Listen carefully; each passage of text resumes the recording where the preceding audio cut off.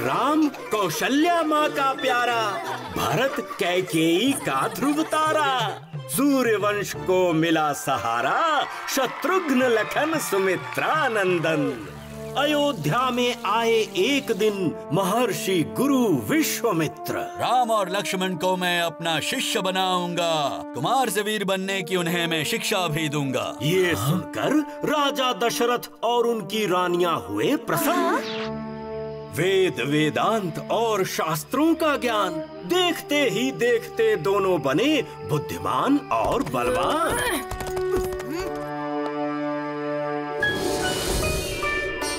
ये है दिव्य शस्त्र जिनकी शक्ति है अपार।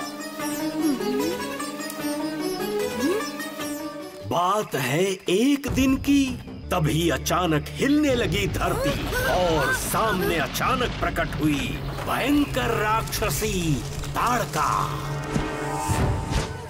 राम इसका वध करो।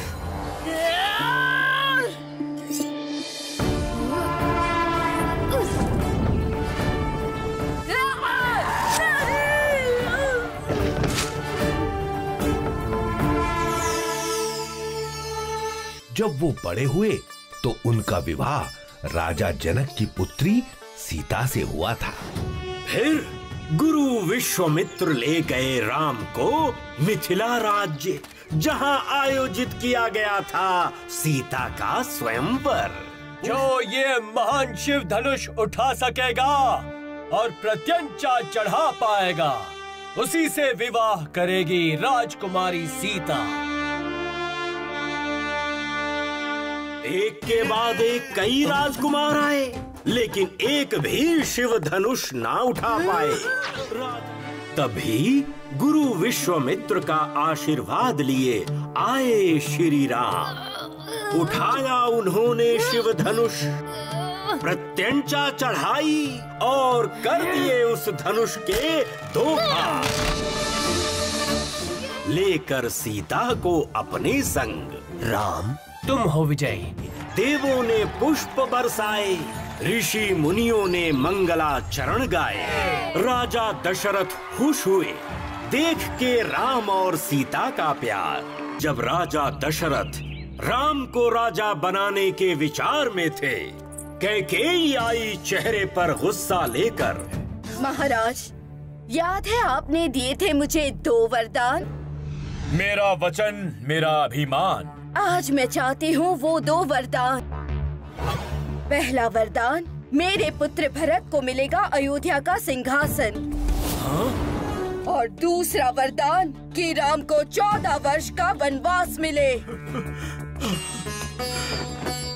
वचन देता हूँ कैकेयी तुम्हारा दूसरा वरदान पूरा होगा।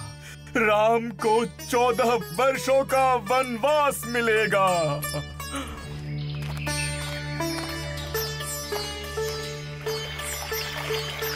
जंगल में एक छोटी सी कुटिया बनाई राम और लक्ष्मण ने सीता ने घर को सजाया और छोटी सी कुटिया को स्वर्ग बनाया।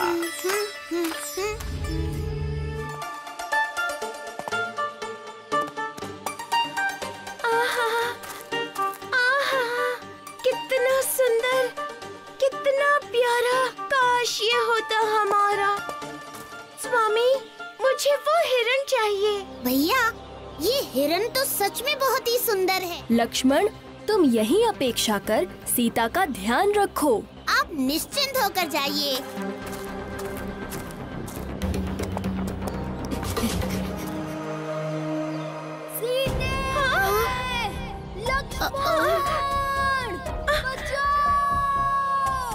लक्ष्मण मैंने कहा था ना राम पर आई है कोई बड़ी मुसीबत। जाओ जाकर उनकी मदद करो। फिर चले राम को लाने और सीता से बोले ये लक्ष्मण रेखा किसी को देगी नहीं अंदर आने। आप इस रेखा के अंदर ही रहिए। जब श्री राम वनवास में थे तब एक दिन रावण धोखे से उनकी पत्नी सीता का अपहरण करके उन्हें लंका ले गया। कुछ देर के बाद सीता को एक आवाज़ आई बाहर। एक बूढ़ा साधु मांग रहा था कुछ आहार। भवती भिक्षाम देही भवती भिक्षाम देही। और जैसे ही सीता लक्ष्मण रेखा के बाहर आई, साधु ने अपनी असलियत दिखाई।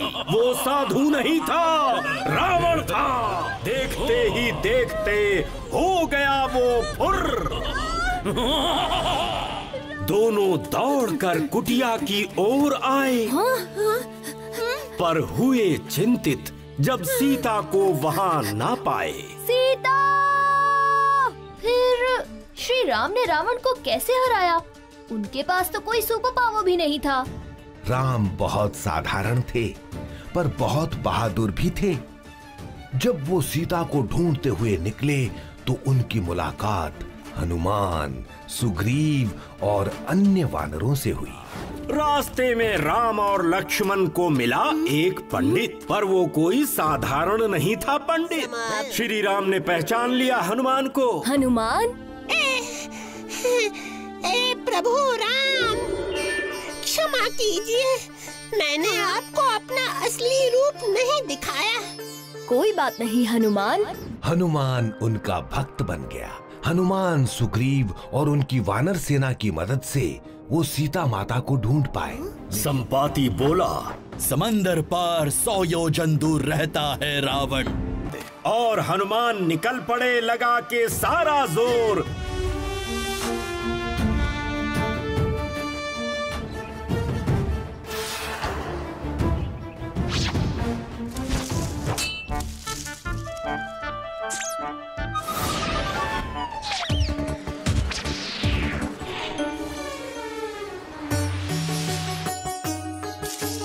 सीता की दशा देख हनुमान हुए उदास और भारी मन से बोले जाकर सीता के पास। सीता माता मैं हनुमान।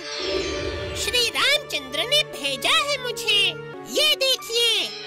राम की अंगूठी को देखकर विश्वास हुआ उन्हें हनुमान पर। हनुमान रावण ने तो मेरा सारा चैन छीन लिया। समझ में नहीं आता जीवन ने मुझे ये दुख क्यों दिया? चिंता ना करें माता। प्रभु राम आपको बचाने आने ही वाले हैं।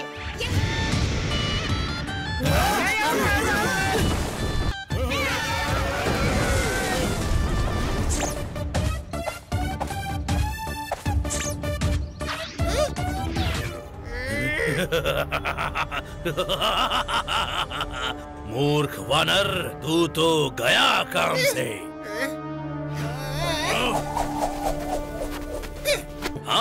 क्यों ना इसकी पूछ ही जला दूँ?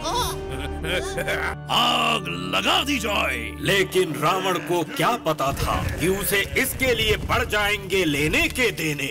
जय श्री राम। अब मज़ा चखाता हूँ तुम लोगों को। बस देखते जाओ। हनुमान जी ने अपनी जलती हुई पूछ से आग लगाई हर दिशा में जब पूरी लंका में शोर मच गया। भागो भागो सब!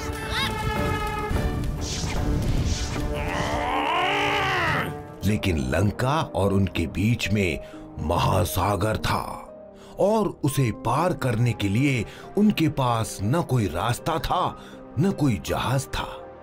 फिर भी उन्होंने हार नहीं मानी। अपने वानर मित्रों की सहायता से उन्होंने समुन्दर में पुल बनाया। पहुँचते ही लंका राम ने अंगद को भेजा कि वो रावण को आखिरी चेतावनी दे आए। किंतु रावण टस से मस न हुआ। फिर राम ने युद्ध घोषित कर दिया।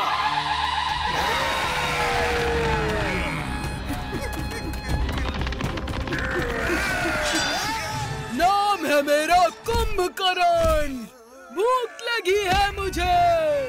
सुनो नन्हे बंदरों मैं तुम सबको खा जाऊँगा।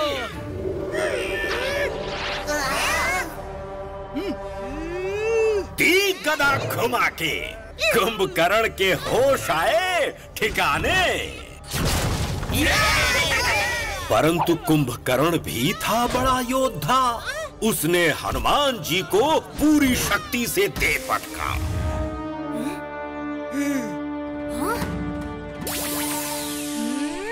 फिर प्रभु राम ने उस पर चलाया दिव्य अस्त्र और कुंभकर्ण का कर दिया विनाश।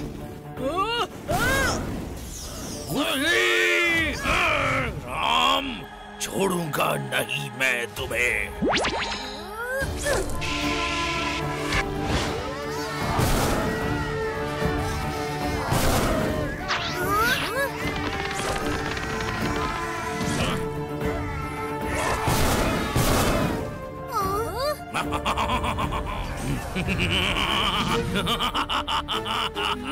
राम तुम्हारे पास तो चलाने के लिए रथ भी नहीं है। देवताओं ने जैसे ही उपहार दिया सुनहरा रथ राम को, ये देख बहुत गुस्सा आया राक्षस राज रावण को।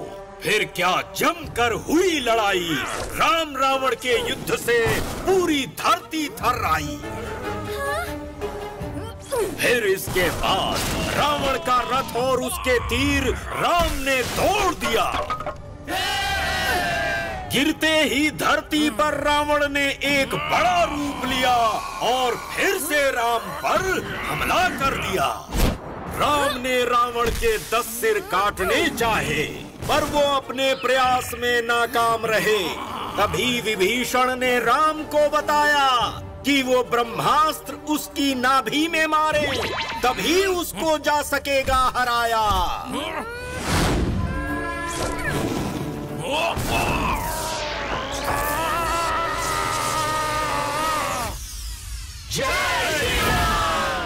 तो बच्चों, तुमने देखा, बुराई कितनी भी ताकतवर क्यों ना हो। उसका अंत तय है।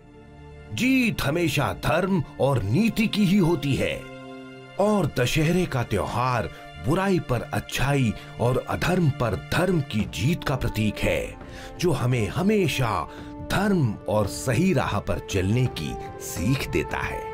और इसीलिए हम हर साल दशहरे के रूप में रावण दहन कर बुराई पे अच्छाई की जीत का जश्न मनाते हैं। तो तुम लोग रामायण की ये सीख याद रखोगे? हाँ बाबा, हम सब की तरफ़ से आप सभी को विजयादशमी की हार्दिक शुभकामनाएँ। हैप्पी दशहरा दोस्तों।